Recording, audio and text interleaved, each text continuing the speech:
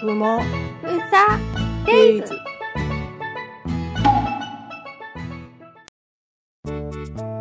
バスタオルはベッドの柵に干してハンガーは S 字フックで取っ手にかけて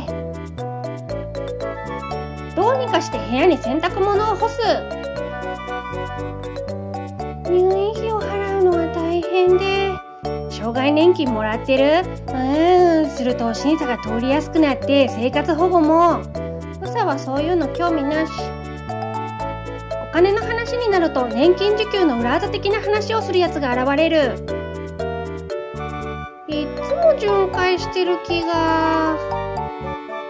追加をもらいに行く時に限ってナースがいない。だからセロクエルは太るから飲まないって言ってるでしょ。デパスください。でも先生の処方はこの薬だから。太るくらいなら死んだ方がマシ。太る方がはるかにマシだよ。太るのを嫌がって薬を拒絶するやつがいる。皆さんこんにちは。うさです。前回前々回と箱根駅伝トークを投稿したらすごいたくさんの方に見てもらえて本当にありがたいのですがこのチャンネルは普段は私、宇佐の精神障害の話と夫である熊の車椅子の話がほとんどなので箱根駅伝から来た人も障害のことに興味を持ってもらえたらなと思っております。今回は昨年末からやっていた開放病棟にありがちなことの第3弾です。今回もあるあるばかりでしたがピンときてない方が多いですよね。なので一つずつ解説していきます。まずはこちら。どうにかして部屋に洗濯物を干すあるあるですね。病院の部屋はとても乾燥しているので、可能な限り湿度を高くするため部屋に干したいんですよね。基本的に病室内に洗濯物を干すことは禁止されているのですが、梅雨時以外は病院としても風邪をひくリスクを下げるために見て見ぬふりをしてくれることが多いですね。なんで部屋に干してはいけないかと言いますと、バスタオルやハンドタオルなどはその気になれば裂いて長い紐状にすることができて自殺未遂に使われる可能性があるから同じ理由で洗濯物を吊るす場所も用意はされていないのでベッドの柵や収納棚の取っ手に S 字フックを引っ掛けて無理やり干すことになります。今のうにはもう無縁だけど20代前半の頃は自分の部屋に干さないと下着が盗まれるかもって心配もありましたね。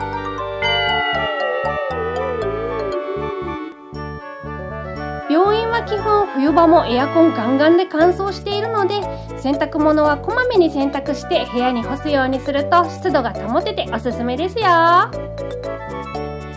続いてはお金の話。これもあるあるですね。あるあるでもありやめてほしいことでもあるのですが精神病院の入院って結構お金がかかるんですよ。生活保護世帯は例外ですがだいたい2週間で10万円近くかかります。ただ、社保に加入している人は限度額認定証を使えるので、長く入院してももう少し休めで済みますが、どちらにしろ一旦建て替えはしないといけないので、相応の現金を持ってないとダメなんですね。そうなると入院患者の中で話題になるのが、どうやったら年金を1円でも多く受給できるか。宇佐は病名が気分変調症なので障害年金を受給できないのですがこういう会話の中にいると先生にうつ病で診断書を書いてってお願いすれば書いてもらえるとか こういう裏技があってという話を得意げにする輩が必ず現れます確かに就労できない病状の方でなおかつ長期の入院が必要な方ならそういう情報も必要なのでしょうがそういう方は入院患者の中から情報を得るよりもケースワーカーさんや役所でお話を聞いた方が正確な情報が得られるように思います。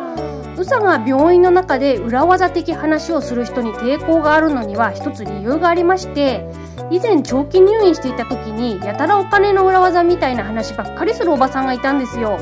そしたらその人実は宗教の勧誘が目的だったんですね。お金の話につられた患者2名が急に退院するって言い出してしかもお米を背負って山にこもって修行すれば病気が治るみたいなことを泣きながら口走っていたので速攻看護師さんに通報しました。宗教の勧誘はスリッパダッシュと同じように重大なルール違反です。おかげで勧誘された2名と勧誘した1名は強制退院となりましたがあの人たちは結局どうなったんでしょうね今となっては知るすべもありませんというわけで裏技的な話をしてくる人には必ず裏があります美味しい話をわざわざ他人に教えるはずがないですもんね。入院中でもシャバでも美味しい話には要注意です。続いてはこちら、追加をもらいに行く時に限ってナースがいない。いないですね。本当にいないですよ。ここで追加とは何ぞやって話をしないとですね。私たち精神障害者は様々な薬を服用しています。中には服薬なしの人もいますが、入院している方の場合はほとんどの方が何かしらの薬を服薬しています。精神障害の人が飲む薬は大きく分けて、抗精神病薬、抗うつ薬、気分安定薬、抗不安薬、睡眠薬、この5種類になります。今回は発達障害の薬は除いています。また分かりやすくするために主にこの薬を使用する病気を記載していますが病状によってうつ病の人に抗精神病薬を処方したりまたその逆もありますその証拠にウサはここに書いてある全てのお薬を処方され飲んだ経験があります抗精神病薬というのは主に統合失調症の薬で幻覚幻聴や極度の興奮状態に対処するお薬。抗うつ薬というのは主にうつ病に使う薬でバランスを崩した脳内環境を整えるお薬。気分安定薬は主に双極性障害に使うお薬で抗不安薬は極度の不安や緊張状態を和らげるお薬。そして最後睡眠薬は眠りに関する何かしらの障害。大きく分けて4つありまして入眠障害寝つけない。中途覚醒寝ても途中で起きて寝つけない。早朝覚醒夜寝ついても3時とか4時に起きちゃう。熟眠障害ぐっすりと眠れない。というパターンがあります。宇佐は今は入眠障害だけですが昔は早朝覚醒もありました。あれマジでしんどいんです。話がだいぶ広がってしまいましたが眠剤睡眠薬のことをこう呼ぶを飲んでも寝られないもしくは一旦寝たけど中途覚醒してしまったという場合には追加で眠剤を飲むことになります。追加をもらいに行くというのは寝つけなかったから追加の眠剤をもらいに行くということですね。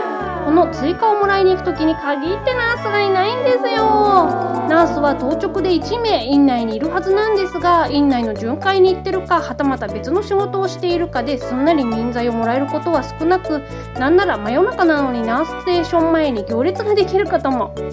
並んでいるとその間に光や他の人の動き声が刺激となって余計眠れなくなってしまうのでなるべくならすぐに眠剤をもらいたいのですがまあナースさんも忙しいので仕方がないですよねと思うようにしています。最後はこちら。太るのを嫌がって薬を拒絶するやつがいる。